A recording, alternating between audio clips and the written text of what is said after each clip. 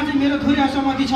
किनकि त्यति बेला भएको के हो त भन्दाखेरि सचिवमा चाहिँ एउटा निर्वाचन भएको हो अन्य चाहिँ स्वयं उहाँहरू आफैले पूर्व घोषित गर्नुभएको पदहरू हो।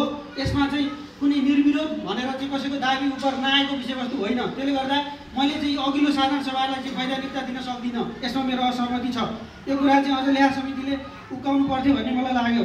त्यसै गरी विनियम संशोधनको विषयवस्तु हामीले अघिल्लो साधारण सभाबाट नै पास गरिसकेका हौँ। एकीकृत विनियम पास गरिसकेका हौँ तर अहिलेसम्ममा पनि त्यो संशोधन भएर यहाँ चाहिँ आइसकेको रहन्छ भन्ने चाहिँ हाम्रो यो लेखाको प्रतिवेदनबाट पनि चाहिँ बुझ बुझ बुझिन्छ। त्यसले गर्दा किन यो एक वर्षको समय अवधिमा पनि तपाईँहरूले एकीकृत विनियम चाहिँ पास गर्न सक्नु भएन? यो नहुनाको कारण के हो? यो पनि जानकारी गराइदिनु होला।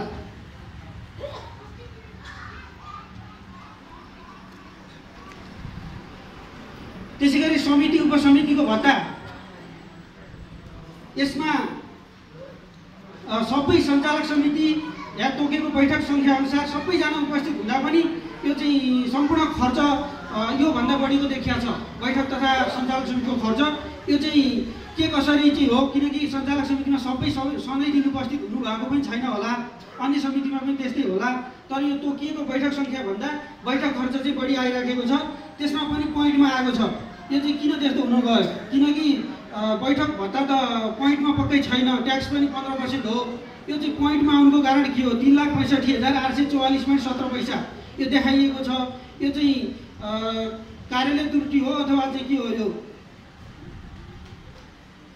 त्यसै गरी लेखा समितिले नै राखिसकेको विषयवस्तु उपाध्यक्षज्यूले लिनुभएको दोहोरो सुविधा अध्यक्ष तथा उपाध्यक्षज्यूले लिनुभएको दोहोरो सुविधालाई पारिश्रमिक पारिश्रमिक मात्र भत्ता मात्र गराउनु हुन भनिएको छ।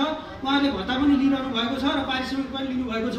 यसलाई मैले अघि पनि विषयवस्तु जोडेँ र लेखाले पनि यो विषयवस्तु जोडेको हुँदा आगामी दिनमा चाहिँ यसलाई चाहिँ खारेज गर्नु हुन अनुरोध गर्दछु।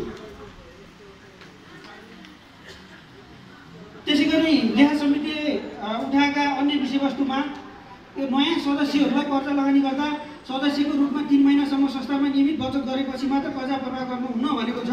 यो विषयवस्तु हाम्रो विधान त अथवा ऐनले चाहिँ तोकेको विषयवस्तु हो त्यसलाई चाहिँ कार्यान्वयन अगाडिदेखि नै गर्नुपर्ने हो तर भइराखेको छैन। जसमा पनि हाम्रो चाहिँ यो हायर पर्चेस कर्जामा चाहिँ कुनै चाहिँ वर्कसप अथवा के भनौँ त्यसलाई त्यो बाइक कम्पनीहरूले सिफारिस गर्ने र चाहिँ तुरन्त